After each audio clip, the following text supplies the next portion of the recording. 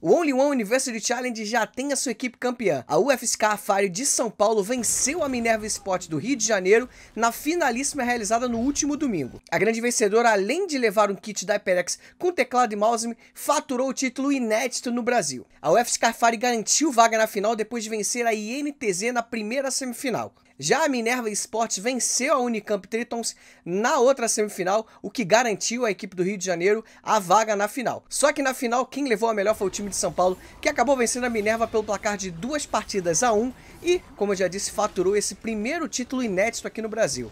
A gente aproveita para agradecer todas as equipes que participaram do torneio e também os jogadores que, das suas casas, no conforto do celular, participaram de forma online e fizeram com que essa primeira competição já se tornasse histórica dentro do cenário nacional. E convido você a seguir a Only One lá no Instagram para ficar por dentro de futuras competições e também, quem sabe, até participar de outros torneios. Além, é claro, de se inscrever aqui no Gamer, ativar o sininho para ficar por dentro de tudo que acontece no mundo dos games.